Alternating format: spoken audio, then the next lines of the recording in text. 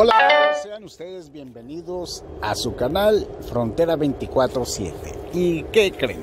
Pues ahora un juez ordena investigar a Enrique Peña Nieto y a José Antonio Mí, ya que Rosario Robles los está culpando a ellos de manera exonórica.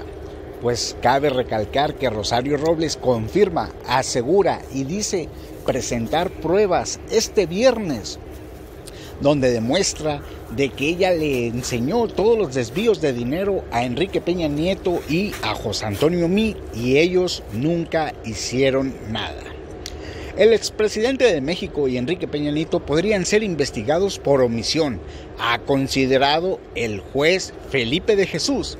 El expresidente de México Enrique Peña Nieto y José Antonio Mí ex titular de la Secretaría de Hacienda y Crédito Público, podrían ser investigados, amigos. Sería el primer caso que se abre en contra de Enrique Peña Nieto cuando ya tiene a alguien de su gabinete dentro de una prisión. Cabe recalcar que Rosario Robles era casi mano derecha y confidente de Enrique Peña Nieto para todos estos atracos que se estaban dando.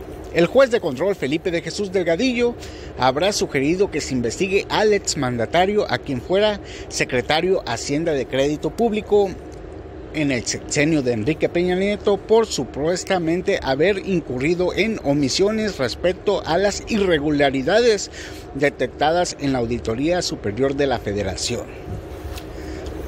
Esta es la copa, la gota que derramó este vaso, señores pues vamos a mantenerlos bien atentos aquí con el canal Frontera 24/7 de todos estos dichos. Pero fíjense bien, dicho juez dijo que es como una joya la aportación de la prueba de la defensa del caso Rosario Robles, el acta de entrega de recepción a la Secretaría de Desarrollo Social por parte de la ex secretaria de CEDESOL.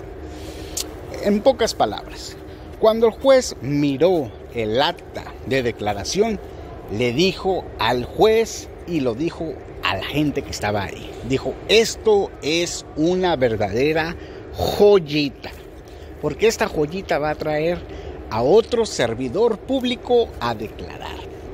Esperemos de que todo siga bien, siga transparente y no haya mano negra en este caso.